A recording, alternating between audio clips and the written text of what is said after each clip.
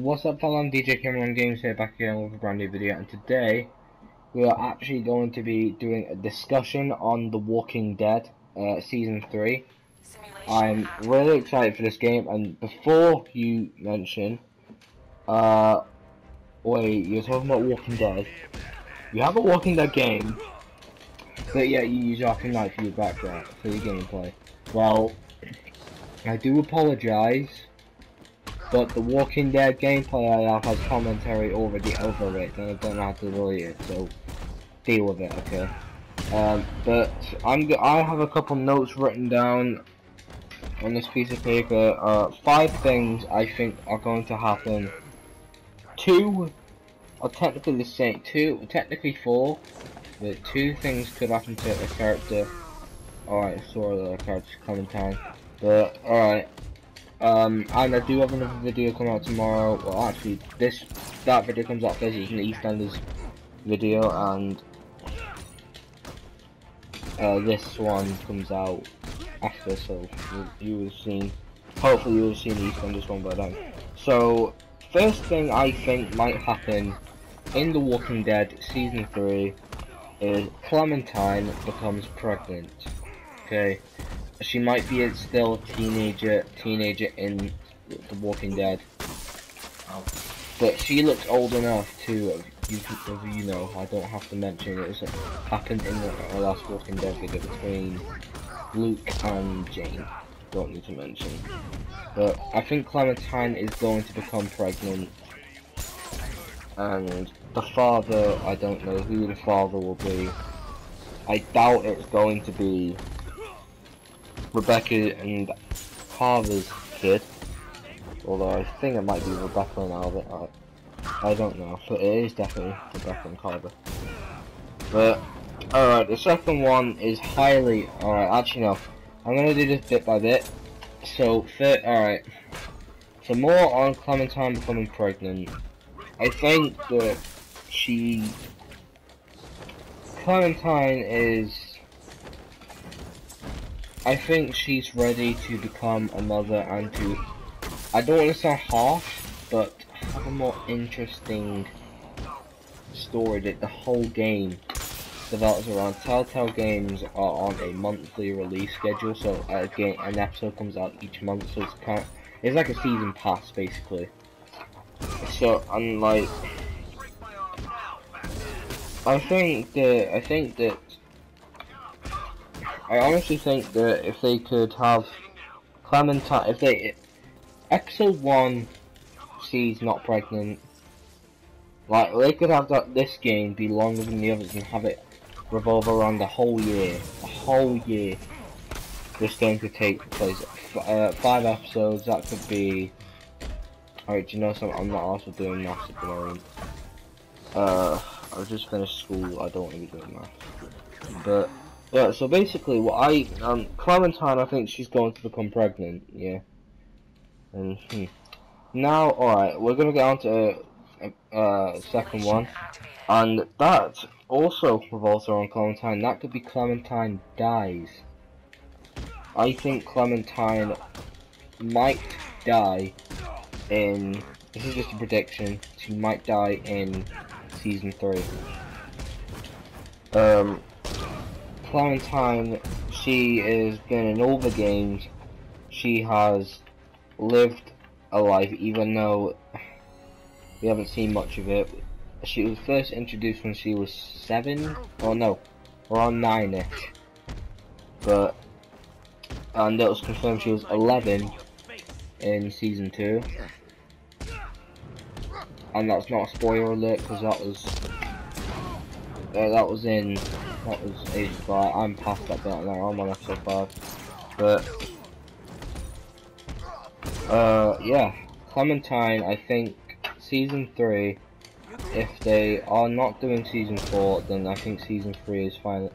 Is Clementine's send off as a character, and it's going to be emotional because I, I think she might her death might even be more emotional than Lee Lee's death from season one, and that oh my god, um, I wasn't crying because I'd already seen. I basically I knew it was emotional. I But my uh, alright, my brother, he is not that emotional. Uh, alright, PewDiePie also cried, but my brother actually cried when Lee died, or when he was watching PewDiePie's reaction, because I don't think he had the game at the time. But, wow, I think this game, so this, uh, if Clementine dies, the whole, I think, I, I might even cry, I don't know. But, alright, that's it for Clementine, but for Clementine died, uh, for my second prediction. Third prediction is, alright, this revolves around what you choose. I know, I think, apparently Kenny, you get the choice to either kill Kenny or do something episode 5, I watched Joseph play it. Um, I, just so I know what I'm choosing it. Uh, but, if, if Kenny survives, and if he does come in this game, if you do choose to keep him alive, then Kenny, I think, Season 3 is when he's definitely going, no choice. Season 3 is definitely Kenny's return for one last time. I wrote it down here, and Kenny's death. And it's going to be emotional. Wow. Like I was saying with Clementine, if Kenny dies, it's going to be even more emotional than Lee's death. And yeah, it's just so, it's so unfortunate. I really, really hope Kenny doesn't die. I want a whole game based on Kenny. Maybe have a prequel game that's set in between season one and two, or maybe even set before season one. I don't know. But yeah. Number four is se season one and two characters return. Maybe for the last time I didn't put that down, but season one and two characters both both return. We could have Lily, whatever her last name is, return. We could have Luke come back. We could have anyone who, if, if Luke is, I don't know if Luke's dead or not, but if Luke, because I haven't finished the game yet, but if Luke is alive, I guarantee he is going to be in this game. He's so going to be in this game. I've actually come to like Luke as well. He's alright. Uh, but yeah, I think Clementine is going to. Uh, uh, if there's any season one characters other than Kenny, I can't think of any of it. Because alright, let's be realistic. Lee is never coming back for The Walking Dead, even if it's a, it's a flashback or anything like that. He's not coming back. I wish, I wish they could do this thing where Lee is just magically alive. Yeah, but that ain't ever ever happening. It'll be it'll be cool to see Lee return um, I don't know how. Okay. Uh, if you if you want to comment below on any suggestions how Lee could return, I am perfectly fine with that. Because as much as I want him to, it ain't happening. I'm sorry. Uh, Alright, now this is the one that is the most unlikely, but it could happen. I don't know if they've confirmed this, if they're both set in different timelines or whatever, I don't know. But if Michonne appear, Michonne appears. I don't know how to spell a name, so I just I don't know if you can it. I I don't know how to spell a name, so I just wrote M M I C H O double N E. Probably not spell. I might actually have a heads up before I'll have a little thing there. But Michonne, uh, I guarantee, if Michonne does appear, then that is going to be sick. Literally, if Michonne and Clementine meet, everyone is going to be off their seats. It's going to be like, oh my god, Telltale Games would be, on honestly, Telltale Games would be like, almost the best game. I think that some people do class them as the best game makers of our time right now, which I find a little bit biased, I can't like yeah. to an extent I actually agree. Yeah. Telltale games, from what I've seen, are great. But if Michonne does appear, Walking Dead Season 3 could potentially be, could even get Game of the Year, even though this game is coming out late 2016. It's coming out in. Actually, I think it's coming out at the same time. Same time I'm getting back on the Telltale series. Batman, Batman Telltale. I call it. Yeah, it's called Batman Telltale series. Same time I'm getting it, just October. So if, the, if both games are out at the same time, that's gonna be sick. Because then I can have double walkthroughs for both games. And yeah, I really can't. I really can't stress enough that if Michonne, if Michonne appears, you, appears, you do know you could potentially have Game of the Year for 2016, and the best Telltale game ever. I'm just saying, I don't know how good the Batman game is going to be, but if, yeah, it is probably going to be really good. Wow, I I am excited for this game, and I'm actually going to be doing a one.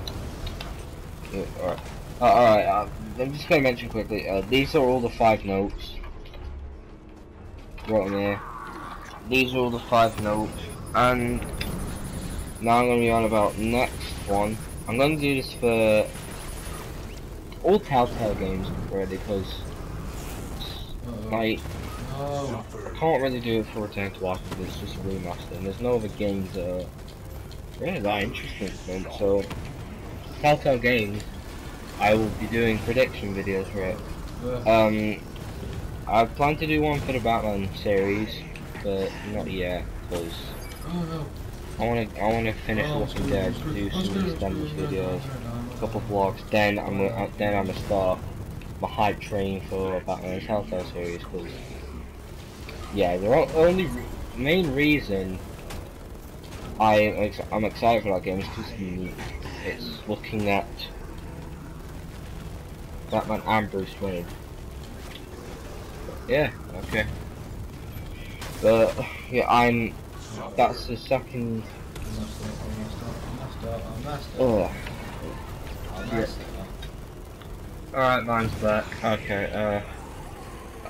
Yeah, um, I just also, I also want to mention that um, I think I might even do a uh, walkthrough on the Wolf Among Us. If you've never played the Wolf Among Us, it is another Telltale game. Yes, I'm becoming madly addicted to Telltale games. They are really good. I might, alright, I might even make a whole video dedic dedicated to why I'm addicted to oh, no. Oh, no, no, no, no. Telltale games. And... Uh, keep shooting. Just keep shooting. Just keep shooting. Doing it. Doing that. Bad dory things. Fam. I do dab.